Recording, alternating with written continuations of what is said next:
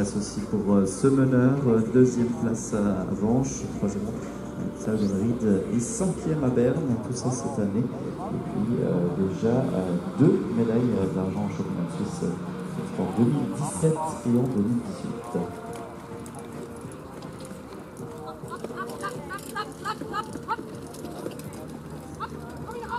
L'obstacle 1 que nous offre l'entreprise Gregorio SA, une entreprise de clé.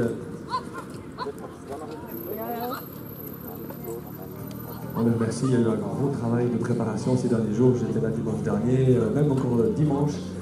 ils étaient en train de regarder comment on allait faire pour euh, rendre le sol praticable dans le passage d'eau. Voilà, et pour ressortir.